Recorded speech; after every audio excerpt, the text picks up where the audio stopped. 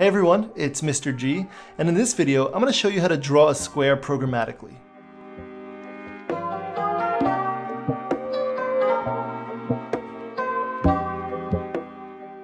So the only thing I've done so far is I've added a pencil sprite to the project. Uh, but I need to do one thing before I actually begin drawing, the, drawing a shape. Um, I'm going to go over to the costumes palette and I'm going to highlight everything that represents this pencil. And what I'm gonna do is I'm gonna make sure that the tip of the pencil is the center of the sprite.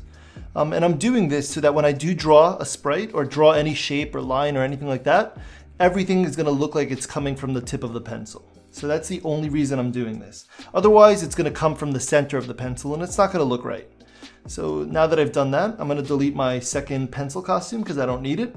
I'm gonna go over to my code uh, programming area.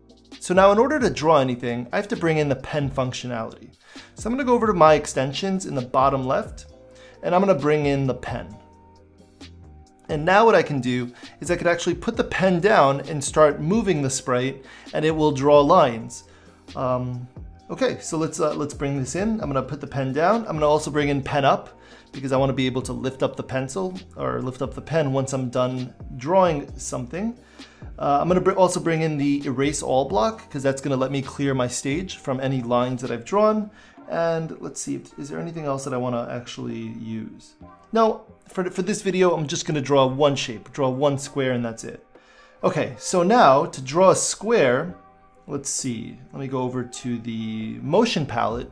And to draw a square, I want to be able to move the, the sprite over a certain number of pixels, then turn to the right then move, then turn to the right. Move, then turn to the right. Move, then turn to the right. So I'm gonna do that four times. So I wanna be able to move a certain number of steps, and then I'm gonna turn and do a right angle.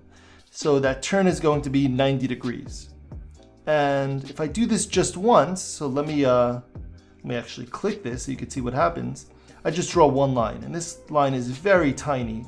Um, so what I want to do is actually, let's make this line a little bit bigger. Let's make it 100 steps.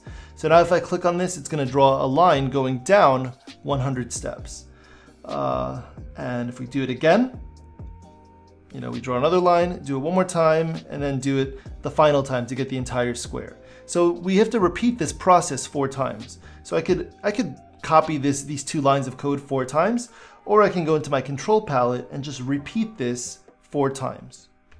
There we go. And this is how I could draw a square. So let me just erase everything we have so far and let me run this script. Actually, let me connect the pen up because you know I want to lift up my pencil once I'm done drawing the square. And there you go. Now we have a square. Okay, so now what I can do is if I wanted to draw multiple squares, I mean, I could duplicate this and use this multiple times, or I can create my own block because now it's actually a much better idea. If I'm going to reuse code that I've created in other areas, I'm gonna go over to my blocks and I'm gonna make my own block. So let's make this block and let's call this the draw square block. Okay, so now that I can define what draw square is, I'm gonna put all of this code and connect it to the definition. And now, instead of using all the code that's inside of this script, I can just use draw square wherever I need it or wherever I want. So for example, um, I could you know, when the green flag is clicked, I can just draw a square. Actually, let me erase all first and then draw the square. So when I hit the green flag, you can see that it draws a brand new square. Uh, if I move the pencil over and I click the green flag, it clears everything and then draws the square wherever it's touching. Okay, so this works. This is, uh, this is good for now. But now I want to go a little bit further. Now I actually want to draw a square, but maybe not draw the same exact square every single time. So in the next video, I'm going to show you how to modify this draw square block so a user can use it and customize it to their own liking.